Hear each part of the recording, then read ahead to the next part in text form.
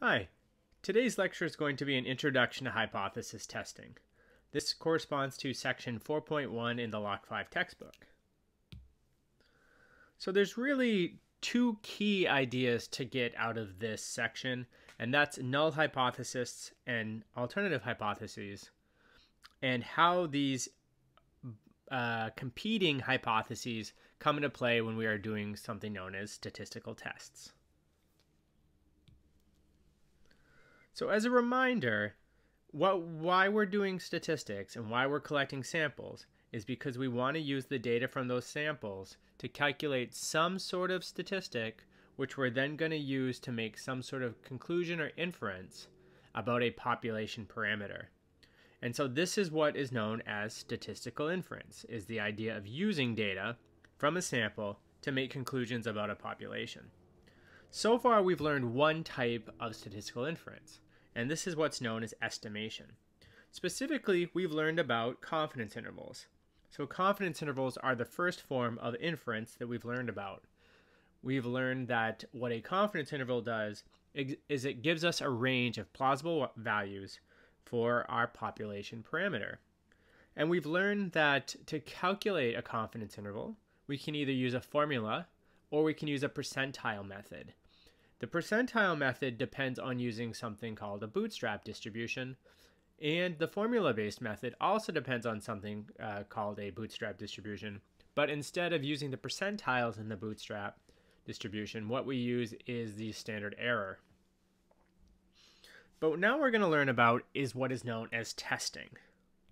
So testing is going to differ from an estimation uh, approach in the sense that we're going to ultimately test some specific hypothesis. Whereas in an interval, what we're really looking to see are what are the range of plausible values. So these two ideas are actually really related to one another. Let's begin with an example. And this is the same example that's covered in your textbook. So it's about the effect of light at night on weight gain in mice. So Studies have shown that exposure to light at night can be harmful to human health. And so, light at night, this includes things like televisions or exposure to computer screens or your iPhones or, or Android phones. So, really, any sort of exposure like that at night. And so, what one study did is they randomly assigned 18 mice to either a light condition, where they were exposed to light at night, or to a dark condition, where they had what we would sort of consider the normal circadian pattern uh, for for light exposure. That is, you see light during the day, and nighttime it's dark. So these mice that were in the light condition were exposed to light pretty much all the time, and the mice that were in the dark condition were exposed to the normal light dark cycle. And what they wanted to look at was body mass gain. So that's what one of these uh, outcomes that has been sort of suggested as being a negative consequence of being exposed to light during all the time is weight gain, and they examined this model using mice. So I have three questions down here. The first question is What are the cases and units in this study? Hopefully, at this particular point, this answering this question is reasonably straightforward and that is mice. And we know it's mice because they're the, the things that they're collecting the data on, right? So remember, cases or units are the things you collect the data on. The next question says, can we conclude causation? Now, how do we conclude causation? In this class, we've said causation comes from random assignment, which comes, which is something that occurs in a randomized experiment. And if we look at this second bullet here, we see that it says that there was ran they were randomly assigned. So that means we can conclude causation. So if we find that there's a difference in weight gain between these two uh, groups, these two conditions, we can conclude that the condition caused weight gain. Okay? It's not just an association, it's a causal relationship. The final question says, what is the parameter of interest? So this one's a little more tricky. Remember, there's a handful of parameters that we've talked about. We've talked about P, which is a proportion. Oops. We've talked about P, which is a proportion. We've talked about P1 minus P2, which is the proportion in one group minus the proportion in the second group. We've talked about mu, which is the mean. We've talked about mu1 minus mu2, which would be the mean of one group minus the mean of the second group. And then we've talked about R, which is a correlation. So when we're asking what is the parameter of interest, it has to be one of these five. Now, the variable that we measured is mass gain. So is mass gain going to be a categorical or a quantitative variable? Hopefully you notice that it's a quantitative variable. And because it's a quantitative variable, that means we're going to be looking at a mu. Now, we now know then that we're at this line right here. It's either going to be mu or it's going to be mu1 minus mu2. Well, let's go back to this little blurb up here. We see that we have a light condition and we have a dark condition. So really what we're going to be interested in is the difference in those two conditions, their average body mass gain. So that's going to be mu of light minus mu of dark. This is going to be our parameter of interest. And we're going to estimate that by x bar of light minus x bar of dark. And this right here is going to represent our best estimate, right? And it's going to be what I'm calling a point estimate. And we know that what we could do is we could use a bootstrap to calculate a standard error to come up with a confidence interval to give us a range of possible values for that. But we're going to do something slightly different. But this is our parameter of interest, and here's our sample statistic. Now let's look at the data. So this is a dot plot, and on the top is the dark condition, and on the bottom is the light condition. Now we want to compare these two conditions in terms of does it look like there's an effect of condition on weight gain? Well, if we were to calculate just sort of eyeballing it, the average uh, weight gain for dark is probably somewhere around here, right? I think that that's probably fairly a fairly good guess. Whereas for the light condition, it looks like maybe, you know, our data is spread out over a much greater area. It might be around seven, or maybe a little bit above seven.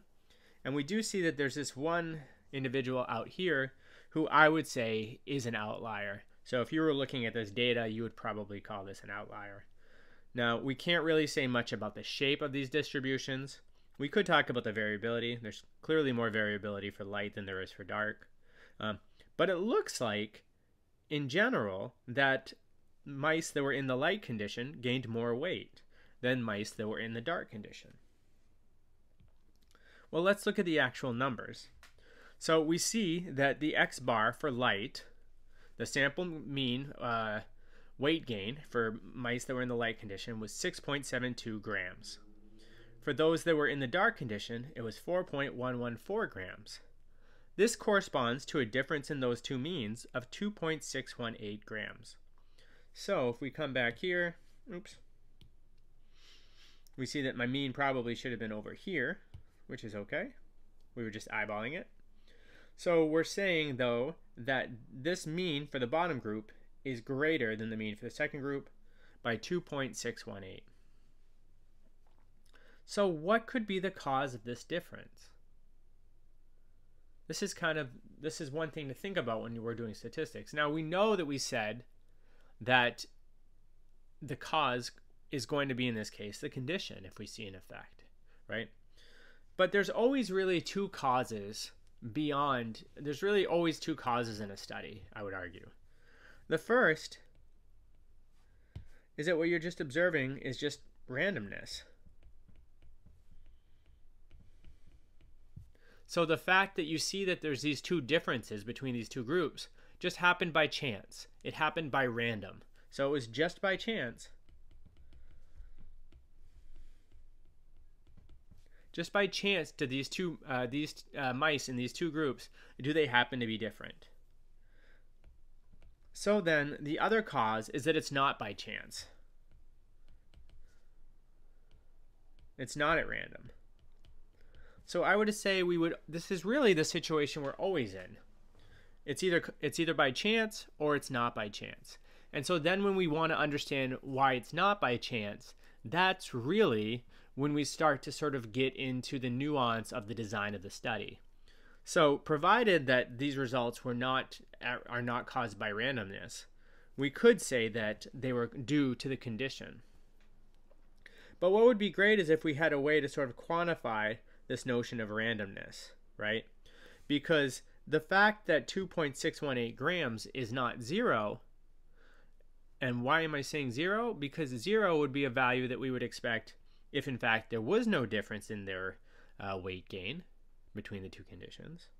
The fact that this value is not zero but instead non zero, how likely would that be to just sort of occur by chance?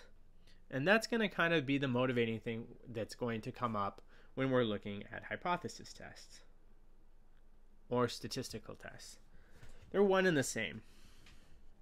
So, what we do in a statistical test is we want convincing evidence from our sample to make a conclusion about the population. So, do we have convincing evidence from our sample to make a conclusion about the population? Oops. Remember that x bar light is a estimate of mu bar light and that x bar dark is an estimate of mu bar dark. Is this 2.61 is the information in this in this uh, in this sample convincing enough for us to conclude something about mu light and mu dark? And what do we mean by that something? That's sort of the thing that we want to think about here, like convincing evidence to make a conclusion about the population, but in what sense? Well, what we need to do is set up two competing hypotheses. And you're always going to set up two competing hypotheses. The first is a null hypothesis, and this is a claim of no effect or no difference. So, in our previous example, a null hypothesis would be a hy- hypothesis that there's no difference in average weight gain between the two groups. An alternative hypothesis, instead, is a claim for which we're seeking evidence. This is actually the hypothesis that we're interested in. And don't confuse this with the notion of the way in which you think about hypothesis more generally in science. I mean, it, it does map on to an alternative hypothesis, and that's generally what you think about. But the non alternative hypotheses have very specific meanings. So, what we seek to do when we do statistical tests is to answer this question Does the sample data provide enough evidence for us to reject the null hypothesis and to support the alternative?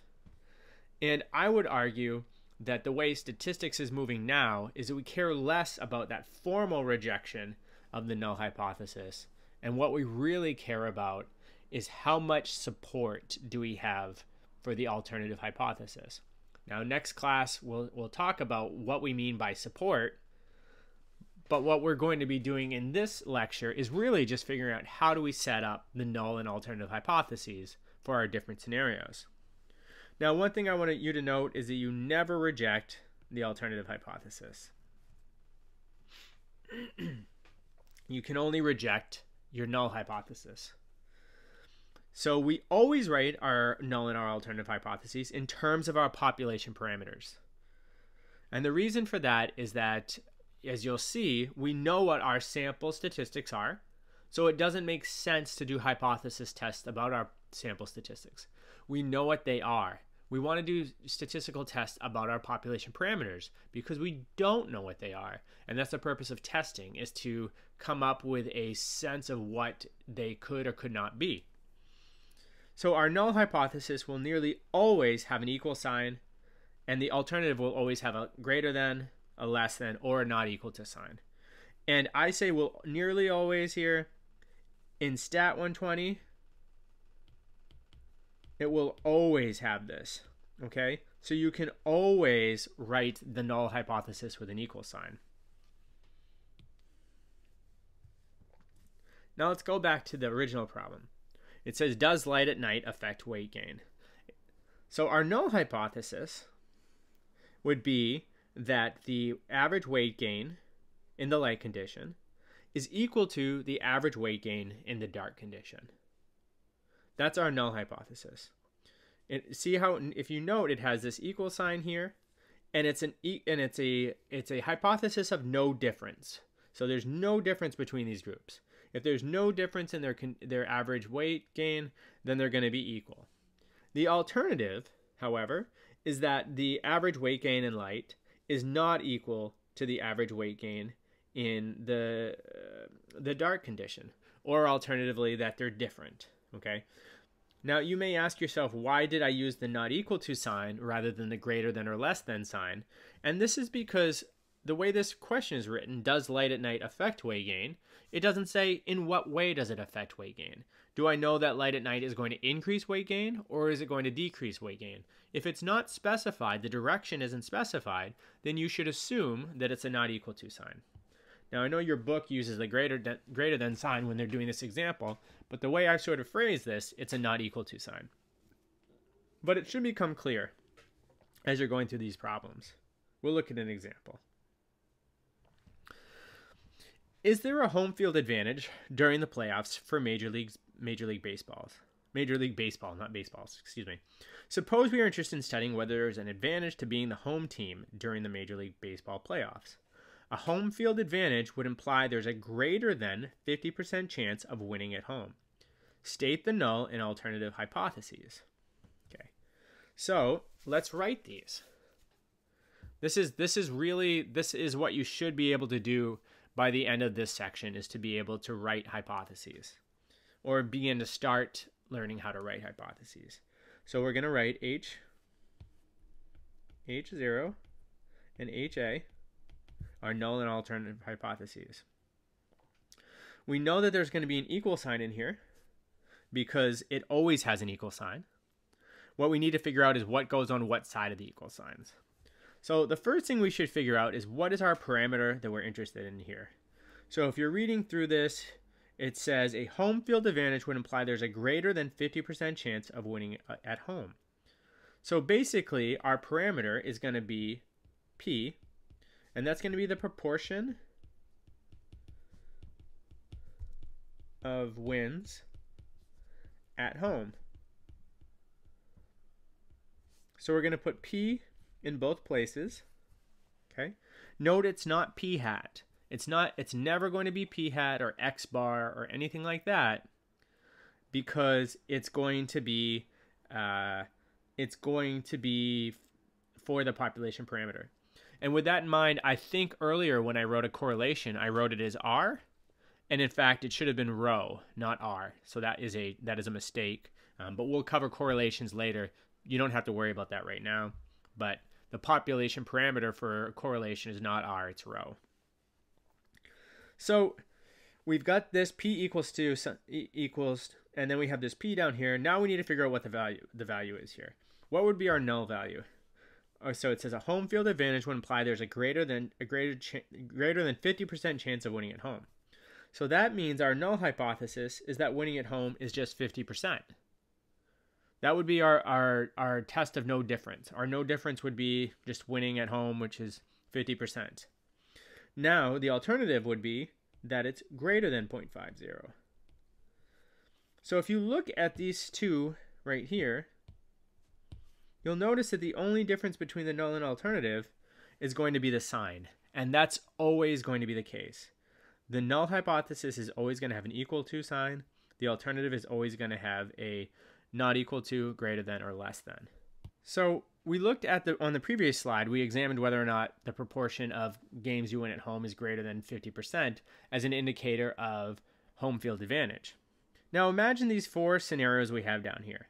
So so far this year, we've had 15 playoff games in the Major League Baseball season. Now, which of the scenarios below would provide the strongest evidence of a home field advantage? Which of the scenarios below would provide the least evidence? Scenario 1 the home team wins 11 wins out of 15 games. Scenario 2, they win 9 games. Scenario 3, they win 5 games. Or scenario 4, they win 8 games. Well, I hope you look at this and you're like, well, scenario 1 is going to be the situation where they are going to have the strongest evidence because that's the most games that they've won at home. And then I hope you look at this and you say, well, the weakest evidence or the least evidence is going to be the one where they only do 5 out of 15 games. I hope that that makes sense to you. Let's look at a different problem. Does a cognitive dissonance based eating disorder program reduce risk to eating disorders? Eating disorders affect 13 to 15% of female individuals. Adolescent girls with body dissatisfaction, a sample size of 481, were randomly assigned to a dissonance based thin ideal internalization reduction program, which is known as the Body Project, or to a control condition. So there's these two conditions with which these young women were randomly assigned. The researchers want to know whether the Body Project participants experienced a greater decrease in average number of eating disorder symptoms than control participants. So, what are the cases and what are the two variables described here? I'm hoping that you see for the cases it's going to be the females that participated in the study. The two variables that are, that are described are going to be either condition, which is a categorical variable, where it could either be body project or control. And the other variable is going to be eating disorder symptoms. So I'll just say symptoms, but that's shorthand for eating disorder symptoms. So our condition is categorical. Our symptoms are going to be quantitative. So when we have a categorical variable and a quantitative variable, we already know we're dealing with a difference in means. So whatever we're doing is going to be in the form of mu1 minus mu2. That's our parameter of interest. And we know that because we have a categorical variable and a quantitative variable.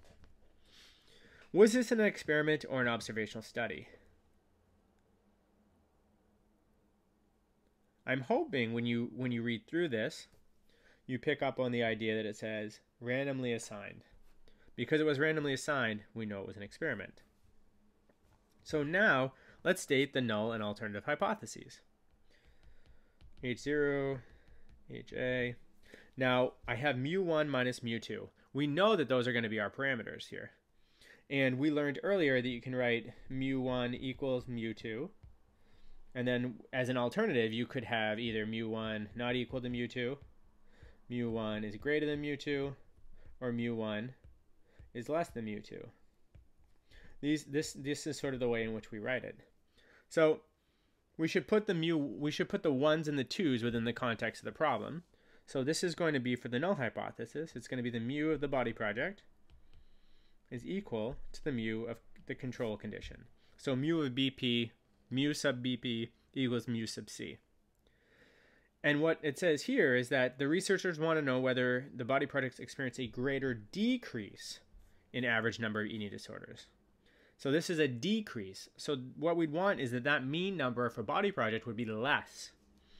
So we're going to write it like this. And this is because it's a decrease. It wants to be less than. Will that will that's the hypothesis that we're really interested in.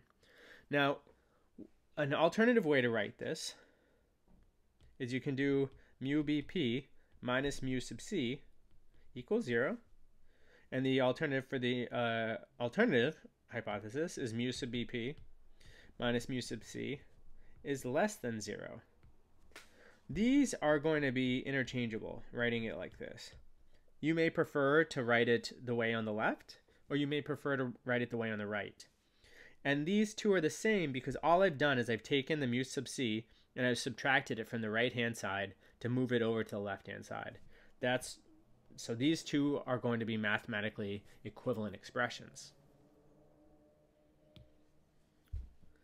Here's another um, example where we're going to look at strength of evidence and trying to understand which one of these uh, best supports the alternative hypothesis and which one provides the least support.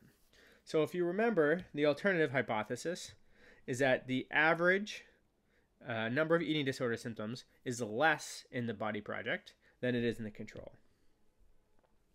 So if we example, examine sample one up here, we see that it looks like probably the average in the body project and the average in the control are very similar. They're about the same. And these are dot plots. Uh, they're, they're a little different than the dot plots that we've seen, but they're effectively dot plots around the center of that line. And so the, in this one, if we were to look at these two, we would guess that the mean of the body project is probably equal to the mean of the control. And these are sample means. In this one, it looks like the mean of the body project is less than the mean of the control. And in this one, the mean of the body project is greater than the mean of the control. So which sample would represent the strongest evidence for the alternative? Well, just as a reminder, our null and our alternatives where mu BP is equal to mu C, mu BP is less than mu sub C. So which one would provide the strongest evidence for the alternative? Well, that's going to be sample 2 right here. Now, which one provides the strongest evidence against the alternative hypothesis? So not only does, does one of them show that there's no difference, but does one of them show that the difference is in the opposite direction that would be hypothesized? The answer is yes, and then that's sample three. So that one would be the answer to that. This one would be the answer to this one. Note that just because the two means are the same in sample one, don't get that confused with the the uh, the null hypothesis. The one that shows the weakest evidence or the strongest evidence against the alternative hypothesis is going to be the one that has the results that are in the complete opposite direction than those that were hypothesized. Now we're going to do one more example. So this this example is um, well, we've been bringing up the election uh, examples lately because well, it's relevant and it's really helpful for thinking about proportions. So will Donald Trump win re-election in the 2020 election? So there are two ways we might consider testing whether President Trump wins re-election. The first would be if President Trump obtains greater than 50% of the vote, he will win re-election. Now, more realistically, and the way in which presidents typically uh, win, is if they obtain more votes than their challengers. So, if President Trump gets a greater proportion of the vote than Joe Biden, he will win re-election. So, for for uh, these two scenarios, one and two, I'd like you to state both the alternative and the null hypotheses for these roads to re-election for Donald Trump. So, let's kind of make a divider here. H0, HA, this will be scenario one. This is going to be scenario two.